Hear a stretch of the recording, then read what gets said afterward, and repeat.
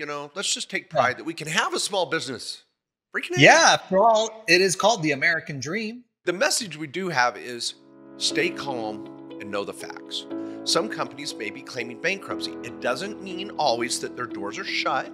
They may be reorganizing. So, what you want to do is get the facts. So, I always start there. So, when any of you are thinking, I want to put away the most money in my 401k, you got to start with your baseline of how much payroll do I really have to take to begin with? Welcome, everyone, to the Main Street Business Podcast with Mark Kohler and Mat Sorensen. We are delighted to be with you today in the open forum episode. This is this is the People's Show.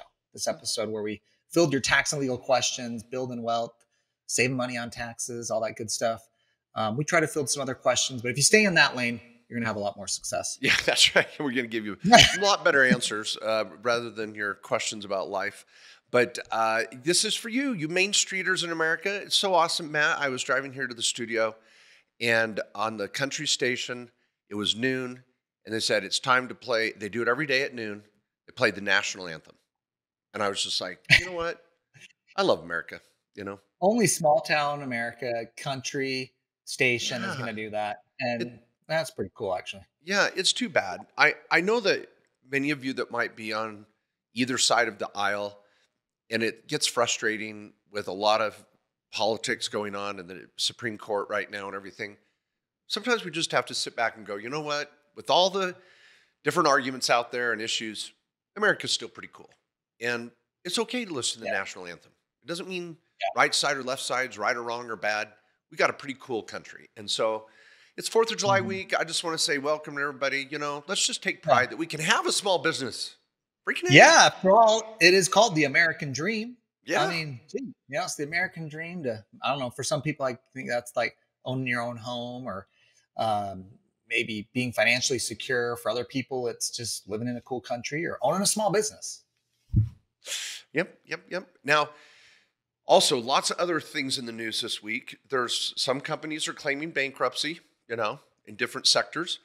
And uh, Mat and I are not here to tell you to, boy, stay on, pull out, whatever. Lots of different things happen in a recession. Different companies come and go. And we want to be careful not to help any of you lose your money further by telling you something we shouldn't.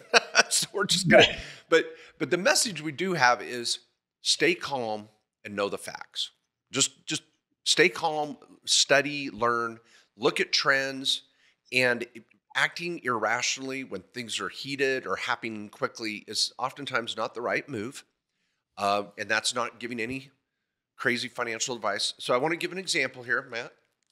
Yeah. What am, what am I holding? For those on YouTube, you see this, but. that's a Twinkie. It has not been eaten yet, surprisingly. Oh, yeah, yeah. It, I've been waiting for this show to. Eat that on camera.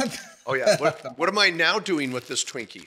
Mm. Oh, you eat that turkey. You know that. Gonna, I, I, even have a glass of milk with me to help wash it oh down. Mm. That's wow. really good. Now, here's what I want to tell everybody. This Twinkie represents something. It's called bankruptcy law. Now, back in 2004, Twinkie, we thought we were never going to get a Twinkie again. Guys, he's going somewhere with this. He's going somewhere with I'm this. going somewhere with this. I'm hang gonna, in there. Hang in there. Yeah, I'm going to eat the rest of this Twinkie is where I'm going. Um, but in 2004, Twinkie claimed bankruptcy, and everybody thought, we got to go buy Twinkies. Now, they did have a shelf life of like 80 years, so we thought, let's load up. Uh, no. But anyway, we thought we'd never have another Twinkie in our lives again, but they claimed what is called Chapter 11 bankruptcy, which gives companies five years to get their crap together. A trustee comes in and says, Whoa, whoa, whoa, creditors, you can't come in and shut things down, and let's find out what's in the bank and let's figure things out. So, bankruptcy law it's called a Chapter 11 reorg. Is what companies do to say, "Hey, we're we're drowning here. We need we need a timeout." You know, it's kind of when your kids on when you're a little kid, your brother be on you pounding on you on the chest, and you're like, "Timeout." You know, so bankruptcy is kind of like you get a breather to kind of put things together. So as you see out in different industries during the recession, some companies may be claiming bankruptcy. It doesn't mean always that their doors are shut.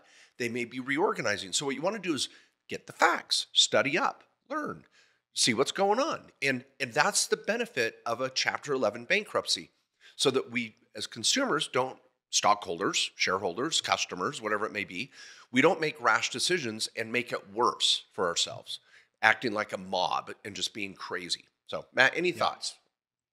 Touchy no. subject. Yeah, yeah. I, am just gonna let that that that sit. Let, just let it lie. You know, just let it, let it lie. All right. I love gonna... it. So let's get into your guys' questions though, um, and why not start off with a great question from Lee Richter. Oh, gotta love Lee. Gotta love Lee. Long time listener. He says, "I have a single member S corp, so he's I guess what he means sole owner of an S corporation with okay. a 401k. I have one part time worker that might put in 10 hours a month doing my billing. I wanted to confirm what I thought I heard you say a few weeks back about 401ks and part time workers. Did you say that the rule not work part time for over three years, no matter how many hours they work, where the owner can still have a solo 401k? All right. Let me clarify that and answer Lee's question. Many of you that have an S corp or are self-employed can do a solo 401k, which is what Lee's talking about here. Where you have your own 401k plan, you can put in 60 grand a year. It's an awesome retirement account. You can self-direct it. You can buy real estate. You can do Roth. So many cool things. We got lots of different podcast episodes on that. But the solo 401k only works if you have no other employees that are full time, or there's the rule change recently that are part time that have worked for you for at least three years. So in your scenario, Lee, you may have a problem looming here if you've got someone working 10 hours a week, which is part time, and if they end up working for you as, a, as an employee for three years. So this is going to cause an issue, unfortunately, in your solo K, is once that person has been there three years, the solo K is now going to have to turn into a regular 401k where you're going to have to offer it to your employee. You can still do it for yourself, but it might have to convert at that time out of a solo 401k. Now, you might have some options. If this is a billing or bookkeeping person, let's say, maybe it's someone you 1099. If you can legitimately do that. I mean, maybe they're not even coming into your place of work. I don't know. And let's get them off of your payroll as an actual W 2 employee. I love it, Mat. I was just going to go there. And by the way, for those a little annoyed, not by me eating a Twinkie, because I know many of you appreciate that, but if I'm coughing here, it's I'm battling the tail end of COVID. And so, one of millions of Americans that gets to have the little COVID experience, even after being vaccinated, whatever. So, um, if I cough a little bit here, I'll, I'll, keep drinking my water and milk here to, to help alleviate that. But I, everybody, listen to what Lee said. 10 out, he used a key word. I only have one part time worker. Notice he didn't say the word employee. And he didn't say contractor or whatever. I don't know what mm-hmm. Lee meant by that. So, and plus 10 hours a month, oh my gosh. That looks like a 1099 bookkeeper to me. They're just doing minimum minimal yeah. work.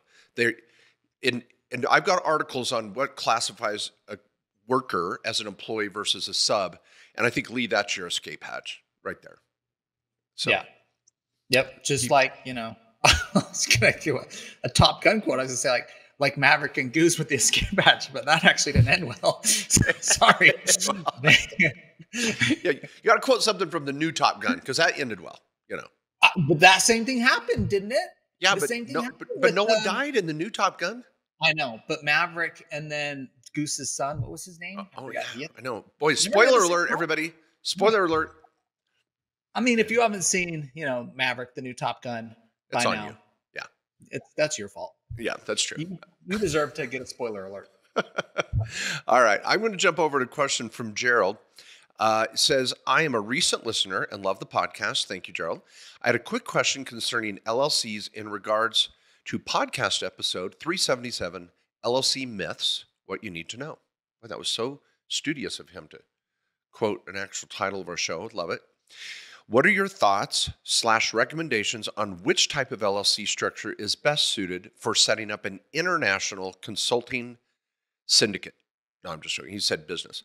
Okay, it just sounded cool. Syndicate sounded cool. Whenever you say the word international. Anyway, I live in Maryland, but would consult for both companies that are based in the US as well as abroad, non US based entities. The projects would, at least initially, all be international projects. Thanks again. Keep up the good work. Now, some of you may think this is totally complex. Oh my gosh, he's in Maryland and he's helping international customers and clients and international consulting. Guys, super easy answer. He's an American, living in the United States, doing business. in Maryland. I don't care if your customer lives on Mars, lives in Australia, lives in England, or lives in New Jersey. If you're a US citizen providing services to anyone in the world or this universe and they pay you, you have to recognize that income as a US citizen. You're living in Maryland, your butt's in Maryland, so you're going to be filing a tax return there, and you would want an S corporation. Now, if you haven't already filed your LLC, I'd go straight to an S corp, Gerald. I mean, just go straight to the heart of the matter. But if you have an LLC, you would want to do an S election when the time is right. And I'm assuming you're going to have enough income to justify the S corp. But you're just going to be an LLC tax as an S corp. I don't care where your income's coming from. You're going to have to pay self-employment tax on a regular LLC, no matter who your customers are, wherever they're at. So it, it's actually an easy answer. Yeah. Mat. Yeah. The only the only caveat I'd add to that, Gerald, is if you had a foreign customer that's like, let's say they're in the UK and they're like, yeah, we're only going to do business with you if you come register in the UK. We don't want to do business with a foreign entity. So we want you to come register here. Now, the nice thing about the US, lots of people love dealing with US entities. They're okay with that. And you may not have to file all the way in the foreign entity, the UK or wherever it may be. So, but you may run into that if you have a customer, particularly a large corporation or something. Generally, if you're freelancing though, or stuff like that, they're not going to care. Yeah. And also, I'll say, Gerald, if you start living abroad and becoming what they call an expat, where you're living uh, the majority of the year in another country, you're going to get into a whole other realm of tax rules. But from now on, I mean, from, from what you've said, you're just going to be in Maryland servicing clients around the world. So claim your income, just do your thing. Yeah. All right. All right. Mat. Okay. You're- All right. Galen Witt asked a great question. This is a follow up, I think, to last week's show on Roth options and all the different ways you can get to Roth, whether it's Roth IRAs, Roth 401ks. So, Galen's question was um, As I understand it, I have three options for getting money into Roth accounts. Maybe more, but he's like, let's keep it simple. You're right. There's really three, Galen. You're, you're, you're on it. He says, my employee, my employee deferral, meaning what you can put in as an employee, company match profit sharing, employer contributions, and for mega backdoor Roth purposes, that after tax non employee contribution. Love it, Galen. You're doing great. he says, if I understand correctly, the only one of these that avoids self employment tax is the employer contribution. We're keeping it simple. Let me get to his question. You got another one? Well, there's number four, which is your personal Roth.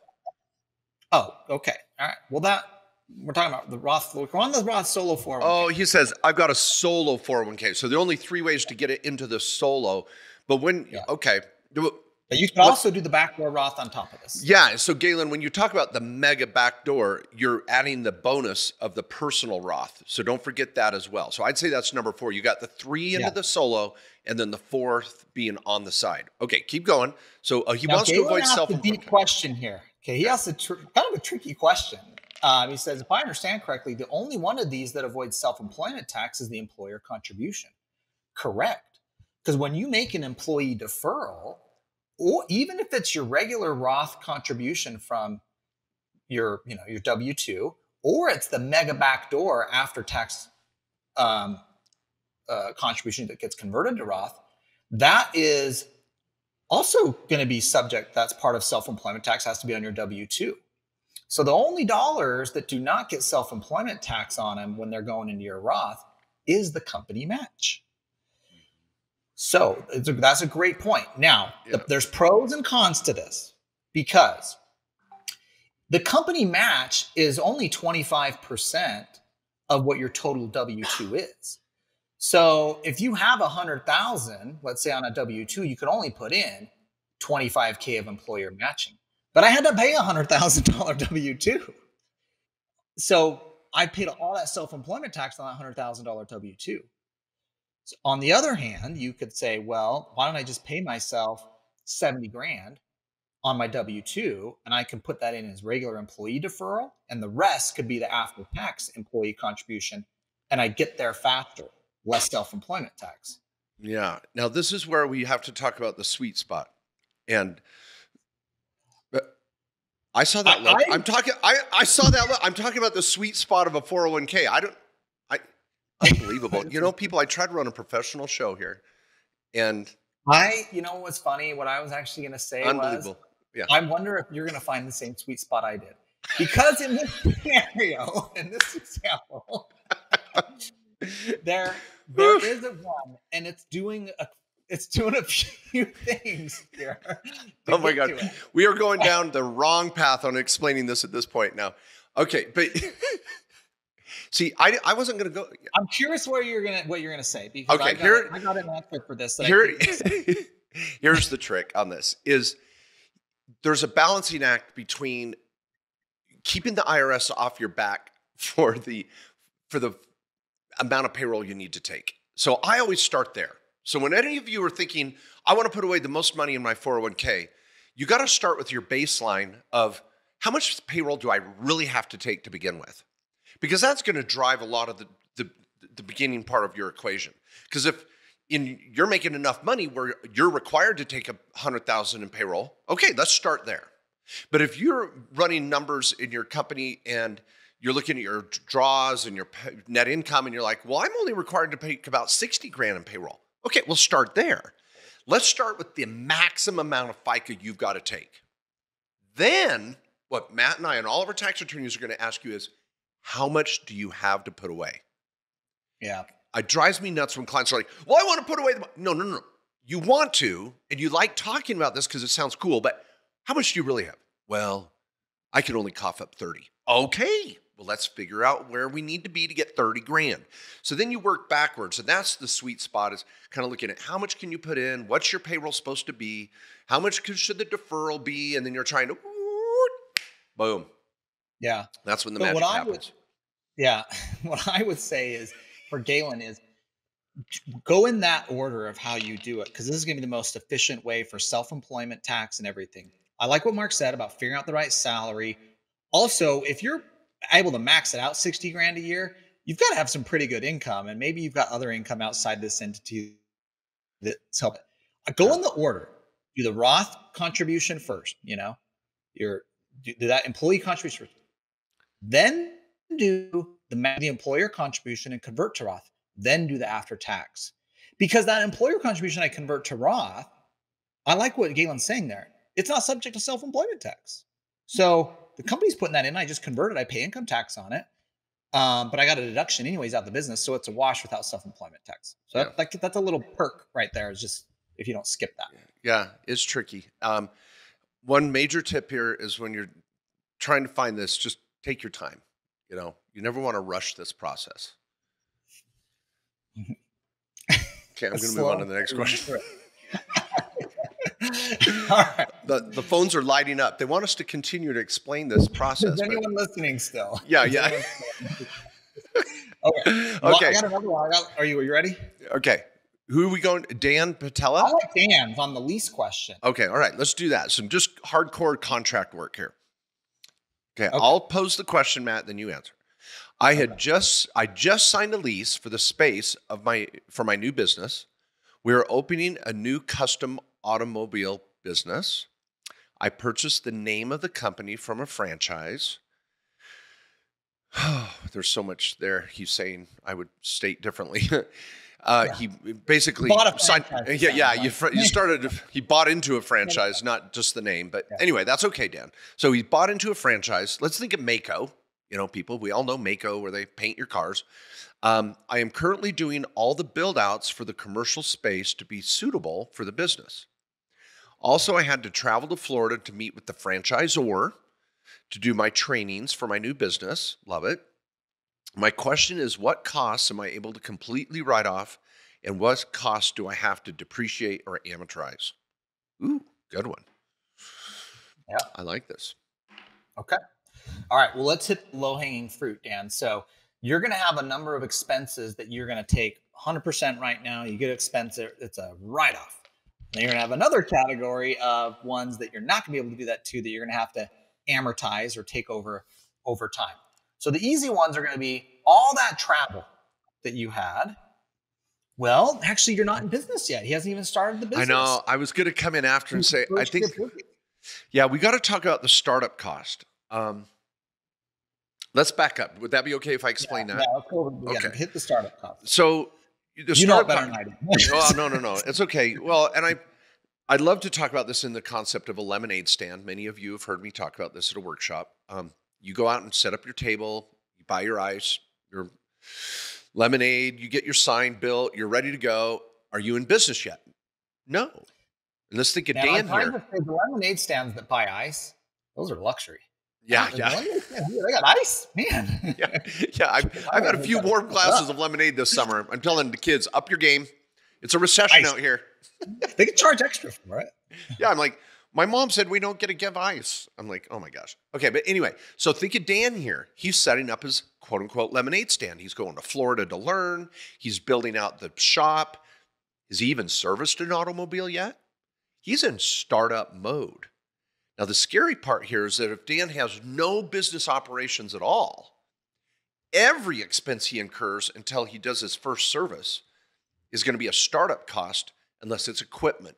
And we're going to come back to lease and leasehold improvements or equipment and things like that. But any of this travel costs or cell phone or computers or laptops and tape and anything that would normally be a supply or office to you know all these goodies dining buying pizzas for the guys working there building it out that's all a startup cost and until he sells his first cup of lemonade those are going to go into a bucket you could write off five grand of those in immediately once you do your first service, but the rest are amortized over 15 years.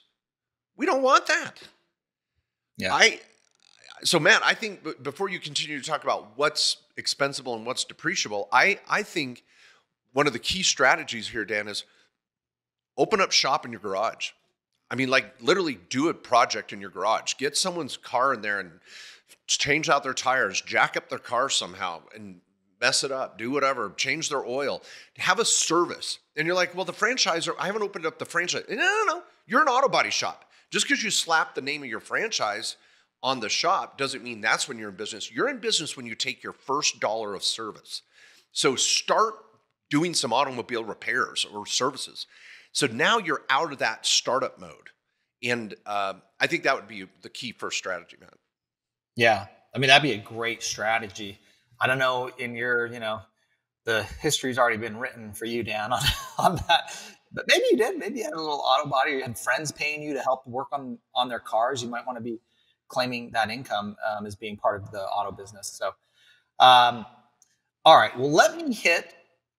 Um, Well, no, hold it. We got to finish those questions, right? So, Oh. the- so okay. So once you're out of startup mode, then any expense that would normally be dining, travel, supplies, um, telephone, operational things, those are 100% deductible because those are just Mm. keeping the lights on, just kind of like daily business stuff. and for the franchise, like your royalty fee, your advertising fee, those are all going to be expense too. Yeah. And so, um, but your franchise fee that you paid the franchisor is amortized over 15 years. There's no way around that.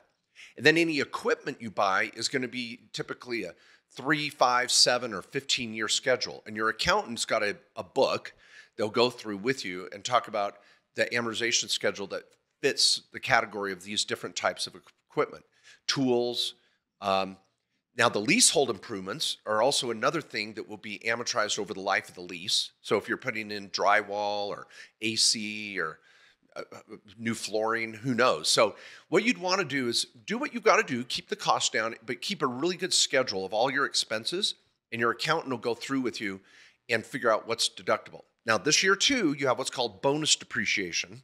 It's going to start changing and phasing out under the Tax Cuts and Jobs Act, where a lot of these uh, pieces of equipment or improvements you might be able to bonus depreciate, which means depreciate all in one shot. You may have heard about 179. Mm-hmm. 179 is another way to write off equipment quickly, but you can only 179 up to the amount of income you have in a business. See, a bonus can drive you into a loss. 179 can only take you to zero. So most accountants use bonus and 179 in a combination manner. And so talk to your accountant, really be- having conversations with them about this during the process. Keep good records. And number one, do some services. Open up shop right away and get out of Mhm. startup mode. All right, man. Yeah. Thanks. All right, okay, we got a question here from Dean. He says, I recently formed an LLC and would like to be taxed as an S Corp.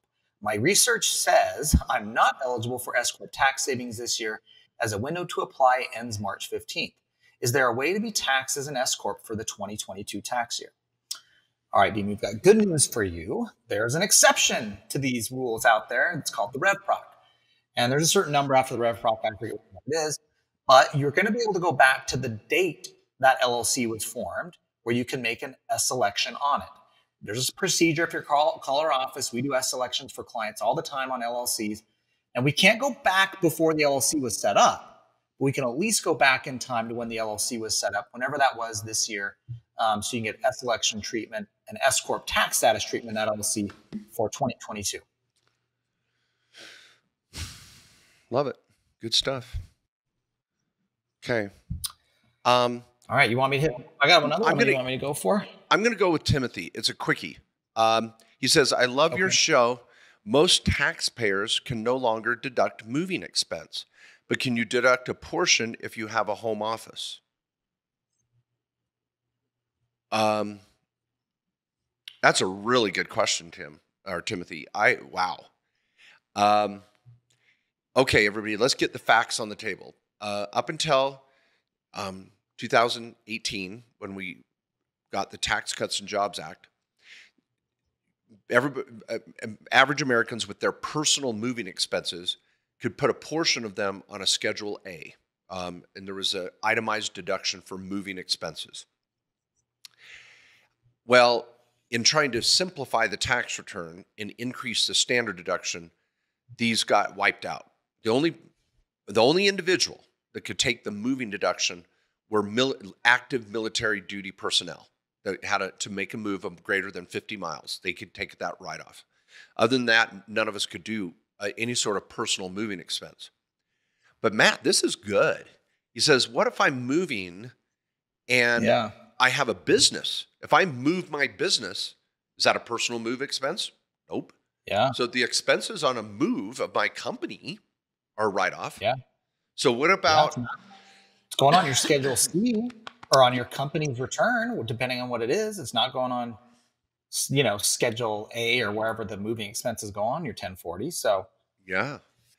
I I think the process here would be everybody. Let's say that you're looking at the home office deduction, which we're a firm believer in. It's not a high risk item. Don't listen to your accountant.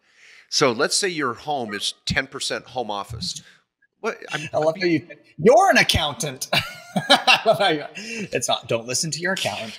Yeah, don't listen to your don't listen to your scared scaredy cat accountant. You can listen to us. We're good accountants. Okay. All right. So let's say your home is 10% home office. So if you take the the more I guess robust or the, the standard home office deduction, you're going to take 10% of your mortgage interest, 10% of utilities, and da da da da da. And so that would carry out that if you're going to move your home and relocate your home office at the same time to this new home, wherever it is, then 10% of your moving costs would be a business expense on your business return, whether, like Mat said, Schedule C or 1120S or whatever it is. And so, uh, and if there was specific costs related to the home office, maybe some networking, some uh, high, you know, higher end equipment that needed special moving. Um, yeah. I, I, I think that's great. I would take it, but on the business return, not on your personal. Yeah. I like it. Very Love good. it. Um, all right. Bo Falla, Mr. Bo Falla asks Hello, gents from Arizona. I have formed an LLC in Texas through KKOS. Thank you, Bo. Thank you. For rental property there, and we'll be setting up one in Arizona for rentals as well. We have now. This is Bo. Your question gets a little complicated here. So, it says we eventually want to form a holding or managing company. Now, those are two different things here. Just so Yeah. you know, let's be clear. That would be the single member to all of our LLCs. Let's come back to that too, because I want to talk about what that what that means. And we'll likely have four members or partners in the new company with varying equity stakes. Oh my God. All right. Bo. Okay, Bo. Okay. Next Slow level. down here. Do you recommend forming an LLC or an LP for this management company? Oh my gosh. Thank you for the time to you're like laughing here is you're all over the place with this question. Wow, This is wow. tricky. Okay, Well, we're gonna right, unpack now, it. Do you want to? say what you're doing right. now. Yeah, let's unpack this. okay. I like what you're doing. You have you formed an LLC for in Texas for rental property there. Okay. Check. Starting That's off good. strong. You also have some rentals. Yep, that's good. You're setting up the LLC in the state where you got the properties. You're also doing an Arizona LLC for the rentals in Arizona as well. Great. And then you say we eventually want to form a holding or managing company. Let's talk about the difference between a holding and a managing company. Yeah. See, a holding company is going to own the, the, the business entity, or let's say in this instance, the property entity that owns the property. So I've got my holding company that I own, or you, you and partners could own. I got the holding company. That holding company doesn't own assets. It doesn't own a property directly. It doesn't do business directly. It just owns another company that then goes out and owns a property. Okay. Now the purpose All of that before That's we get to company. yeah, and before we get to managing, a holding the purpose of a holding company there's several, but the Yeah. biggest one is is creating another layer of asset protection. So you're typically you're going to set up this holding LLC in a state that has what's called COPE protection, charging order protection entity protection, which is a, a a next level type asset protection. In my tax and legal playbook, I will hold it up for the camera here. Shameless plug. Uh, I have a whole chapter on COPE entities. So you'd want to figure out which state would be best for that. So that COPE entity would hold these other LLCs that actually own the property. The other benefit is kind of simplicity. You've got all these LLCs flowing into one, maybe one tax return at that point. And for audit protection, a lot of clients make that holding company a two member LLC, so it's on a 1065. So it's going to do its own separate tax return.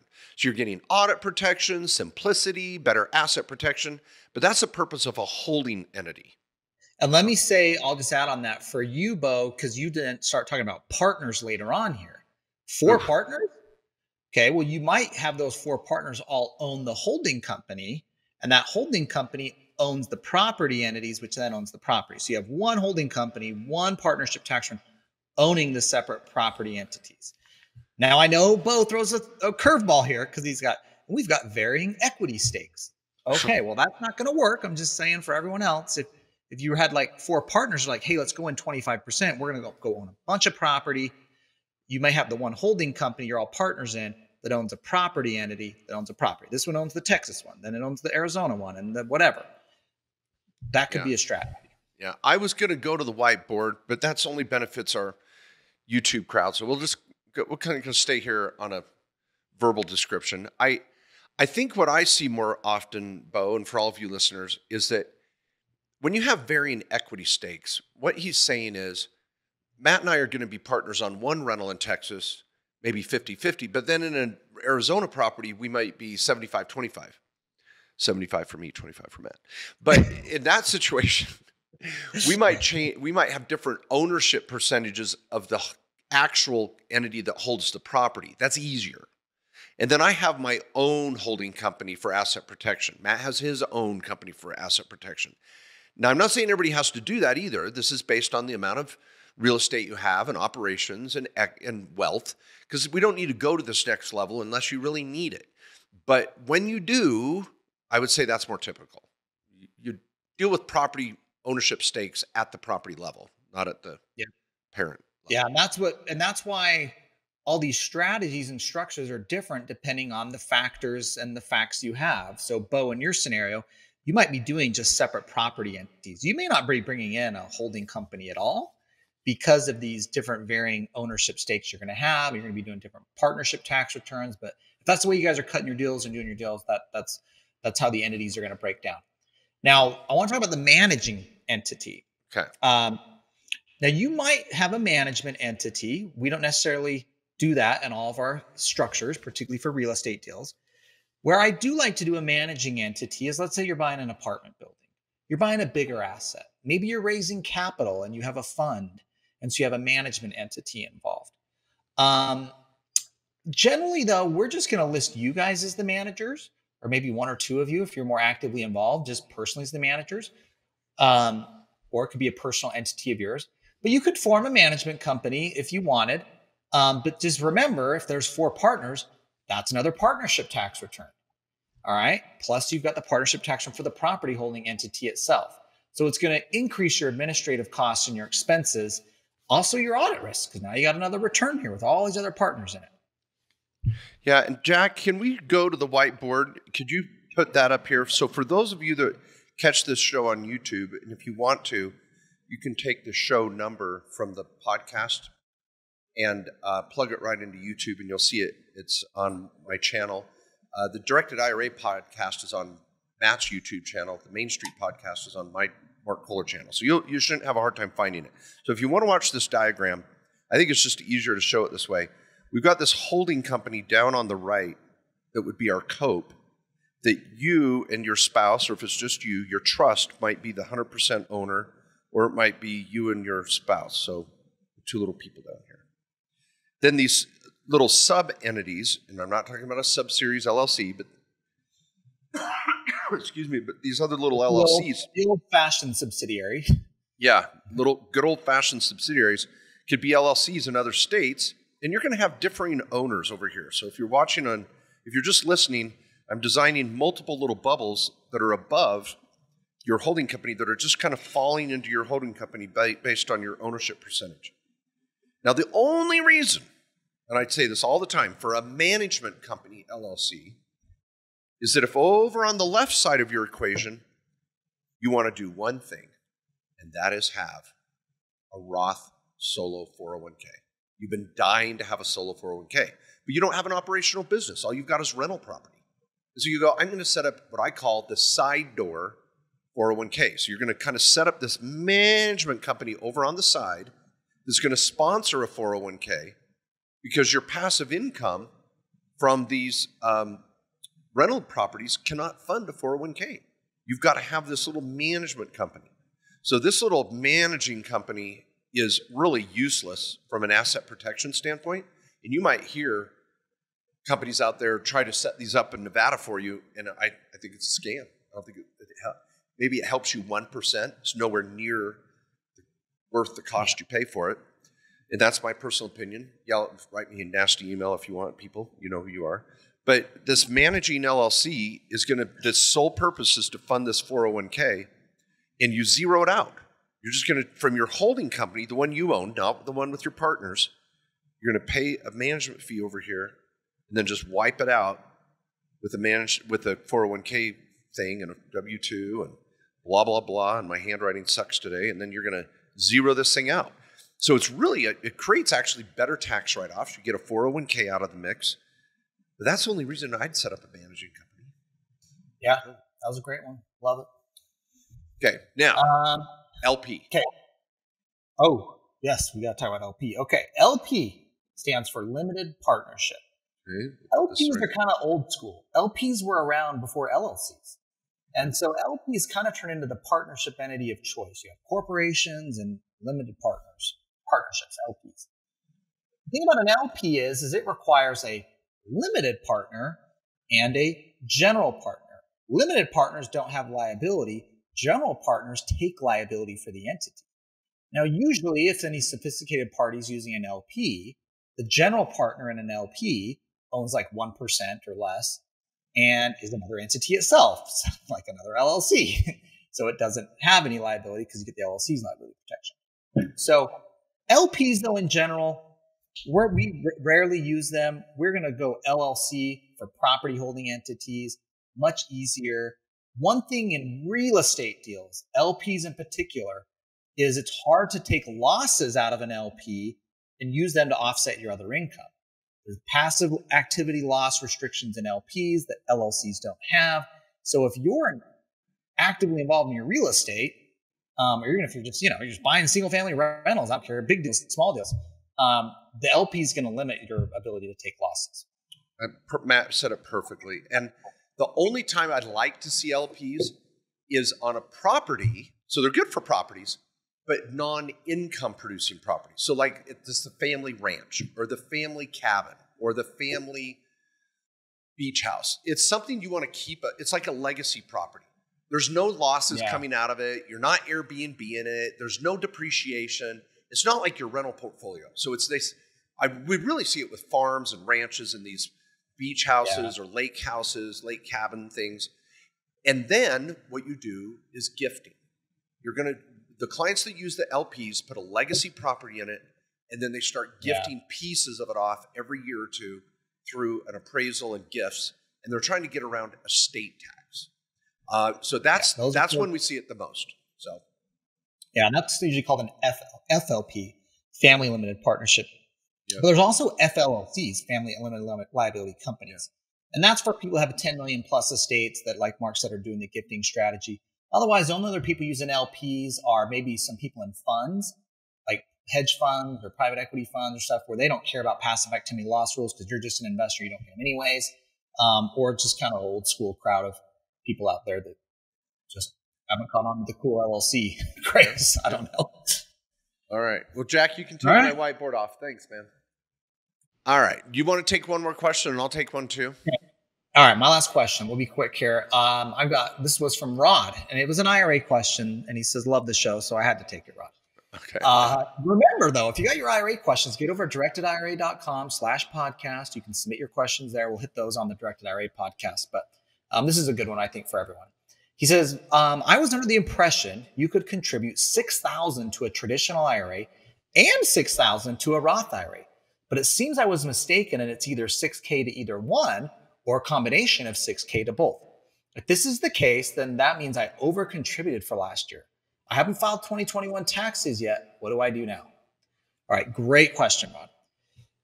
What you found out is correct. You can only do 6,000 in total to IRAs for yourself. So this could be 6,000 to a Roth or 6,000 to traditional, or you could break it up between the two, as you said, for a combination of 6,000 total. Now, if you got a spouse, of course, your spouse could be doing 6K as well. Now, if you've over contributed here, and that's what this is called, Ron, you've put in six to your traditional and six to your Roth, you're going to need to pull six out. Now, I would pull six out of the traditional, and you can do this without penalty um, since you haven't filed your taxes in 2021. So, um, I presume you've extended. So, what you'll need to do is contact IRA custodian. We do these at Directed IRA for clients that have to deal with this. It happens to all of us. Don't feel bad, Rod. This is a common thing. So whether you're at Charles Schwab or Fidelity or Directed IRA, they you know they'll be able to help you get that back out. And then now you're going to get a 1099, but you're going to be able to put it on your return and saying this was an over contribution prior year. It's not taxable to you. Now, if you made some money on it though, you will pay tax on that. That will be taxable. So let's say that 6K turned into 7K, you will have to pay some tax on that. If you lost some money, let's say it was in the market that's now down, you know, I don't know that you get to take that loss. Actually, I'm pretty sure you don't. But if you made a little money, you do have to pay a little tax on the difference coming back up. All right. Great comment. Um, last question for I'll take is uh, from Brandon, and he has a three part question. It, it, sounds like it's a lot, but I'm going to truncate his question for everybody's benefit here so that hopefully someone gets something out of this. The first question is on a fixed term charitable remainder unit trust.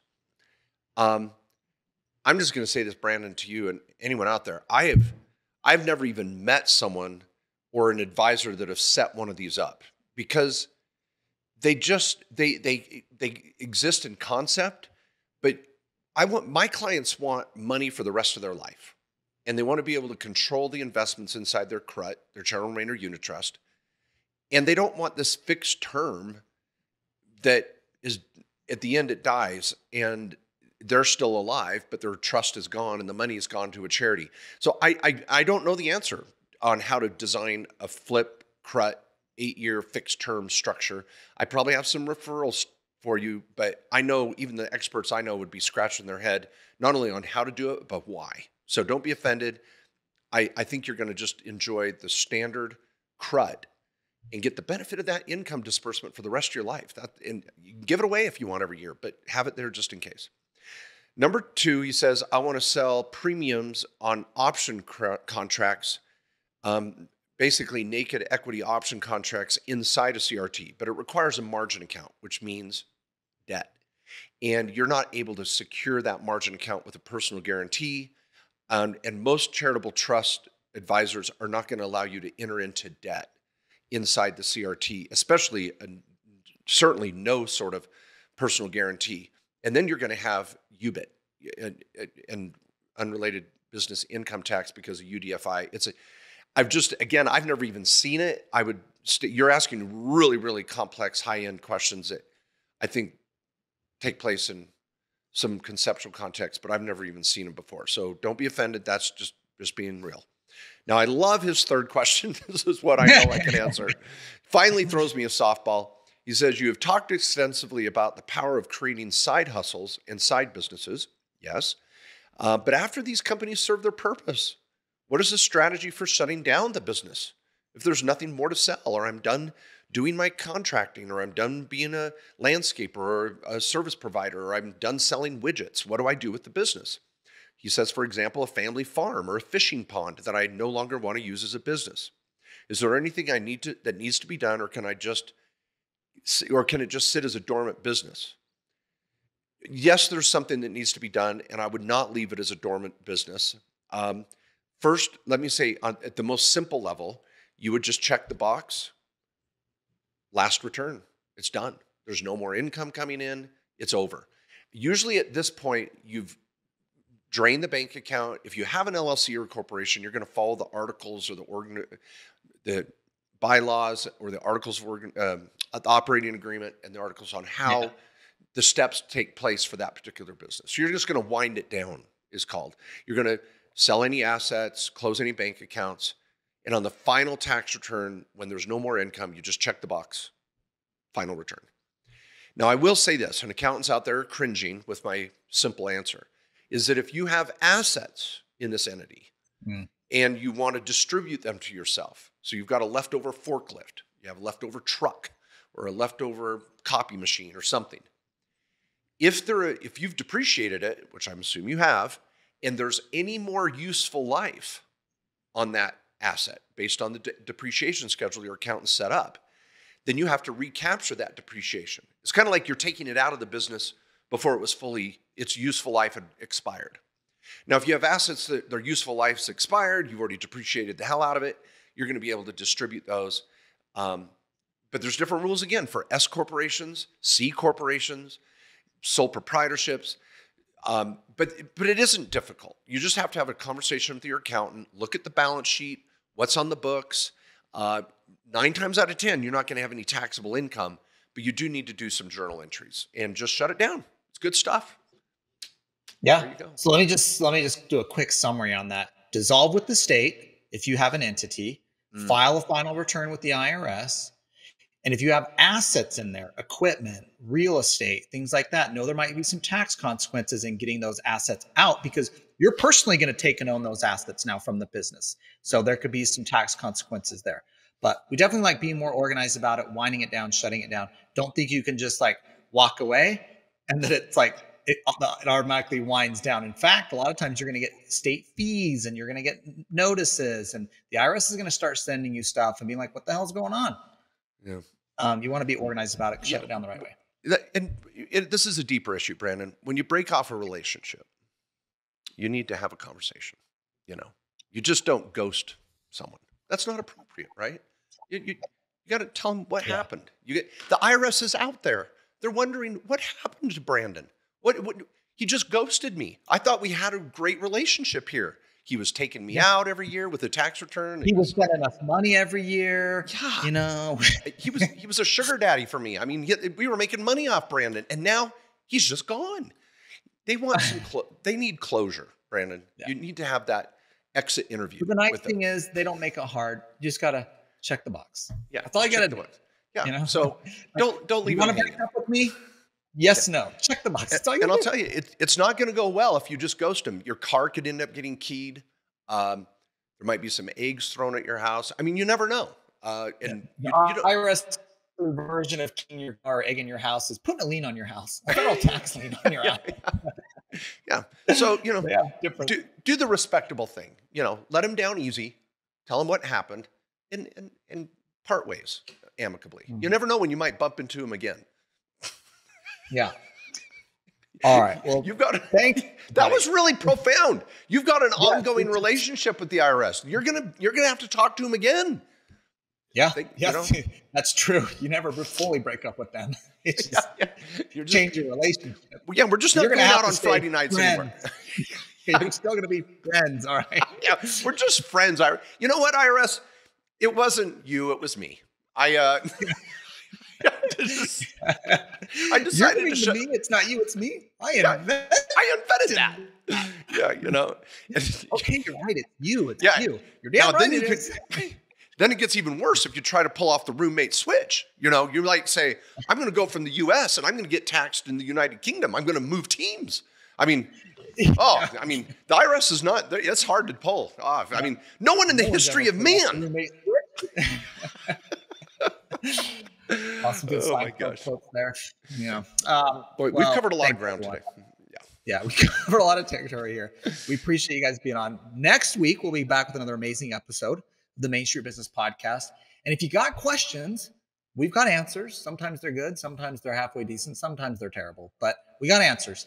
Um, but get over to mainstreetbusiness.com. You can submit your questions, and um, we'll be having another open forum in just a few weeks. And until then, stay calm.